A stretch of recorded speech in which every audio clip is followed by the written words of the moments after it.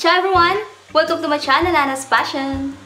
Ang recipe na i-share ko today is one of my favorite pasta recipes. Ito ay ang pasta puttanesca or spaghetti alla puttanesca. Napakasarap nito guys. For sure, pasok na pasok ito sa panlasa natin mga Pinoy. So let's get started.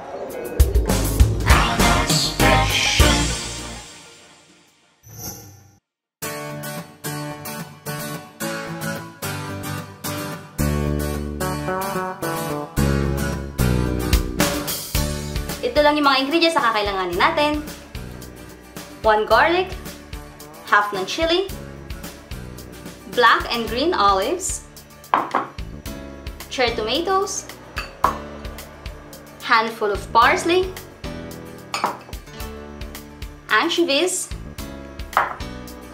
tomato sauce, capers, salt, pepper, olive oil or cooking oil, and 200 grams ng spaghetti.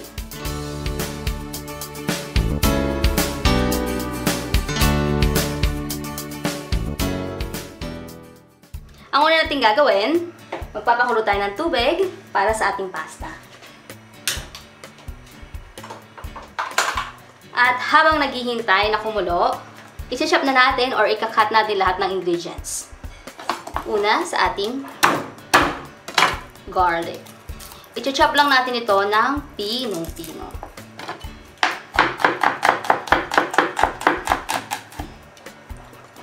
Malapit na tumubo ang garlic ko. Meron ng ano, green sa loob.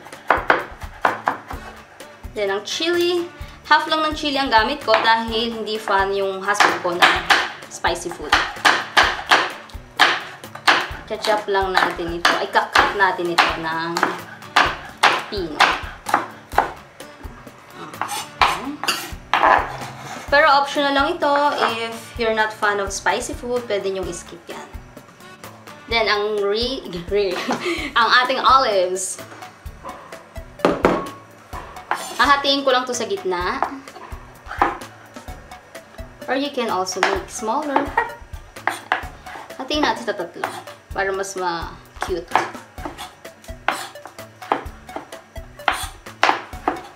Kung wala naman kayong makitang black, pwede namang green lang ang gamitin ninyo.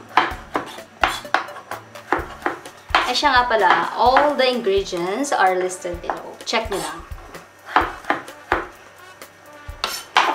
Then set aside. Next, ang ating cherry tomatoes fresh from my garden. Hinarvest ko lang to kahapon.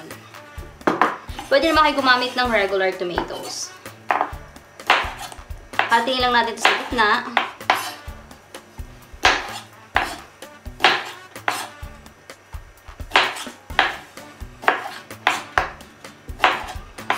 Next, ang ating handful of parsley.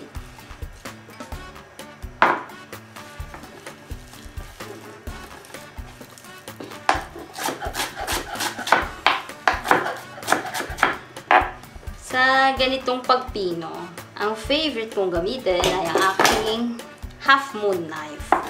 Or in Italian, mezzaluna.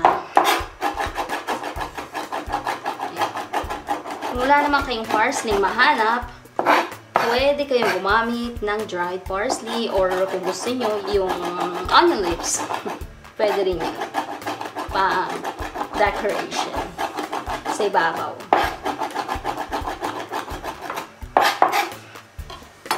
And next, ang ating anchovies.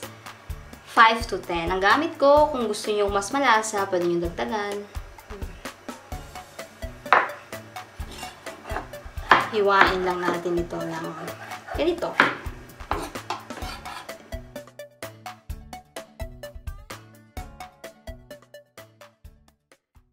Pag ready na lahat ng ingredients, ready na tayong magluto ng sauce.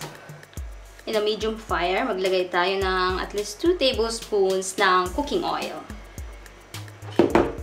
Okay. Paano malaman kung mainit na ang mantika? Makikita nyo yan? Pinilagay niya yung inyong wooden spoon. makikita niyo may bubbles na nagaganap. Yan. It means, ready na ang isatay ang inyong bawang. Look.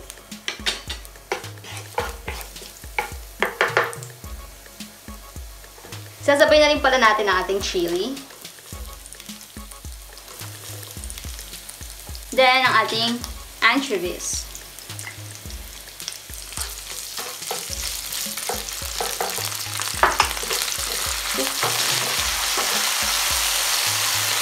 Constantly mix your anchovies until mag-melt ito at maamoy nyo na yung aroma. Pag nag-melt na ang anchovies at golden brown na ang inyong onion, pwede na natin isunod ang ating olives. Then capers.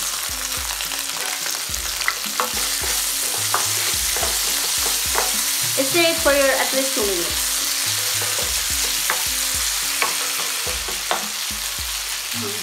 maaamoy nyo ng strong aroma ng anchovies. Amoy pa lang, kulang na. After 2 minutes, let's add our tomatoes.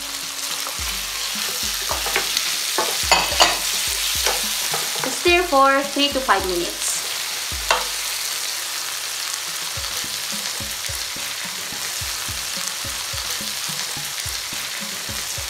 After 3 minutes, pwede na natin i-add ang ating tomato sauce. Dito sa Italy, itong pasta puttanesca, karamihan sa kanila, hindi nila nilalagyan ng tomato sauce. But ako, nilalagyan ko siya ng at least 3 tablespoons ng tomato sauce. Then, pinch of salt. And pepper.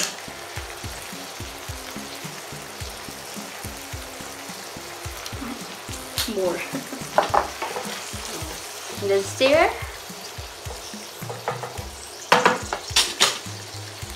And splash of pasta water. Kunti lang.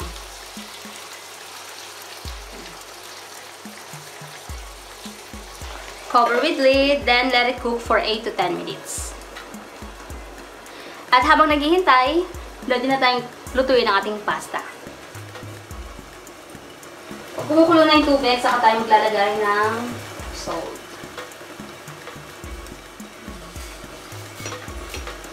Ilagay ang pasta. Ayan, niluluto ko na ang aking pasta. And according to the packet instruction, 8 minutes siya pag al dente. Pero gagawin ko siyang 7 minutes dahil yung 1 minute ikukontinue ko dito sa aking sauce para mag-absorb ito sa aking pasta.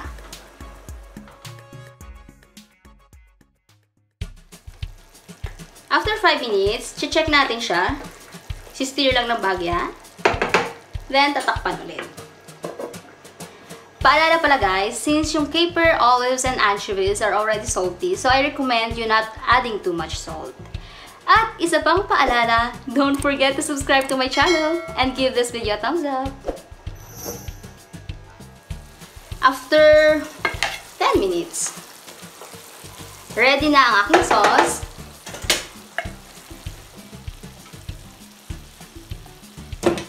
Transfer na natin ang pasta here. Then, continue sa pagluto.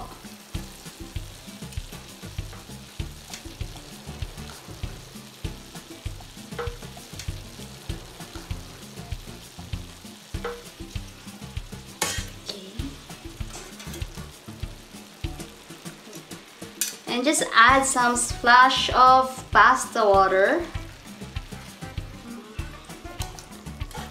Susutay natin ito for 1 minute or just long enough para mag-absorb yung sauce sa inyong pasta. Then, lalagay na natin ang ating parsley. Magtitira ako ng onte for the presentation. Ayan! Ready na siya!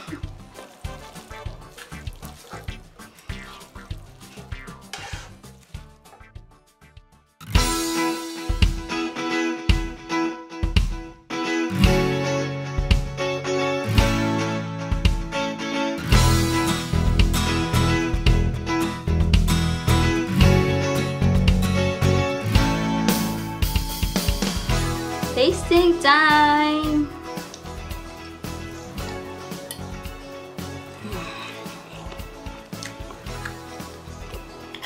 Speechless. Sobrang in love talaga ako dito sa pasta puttanesca. Should try it guys.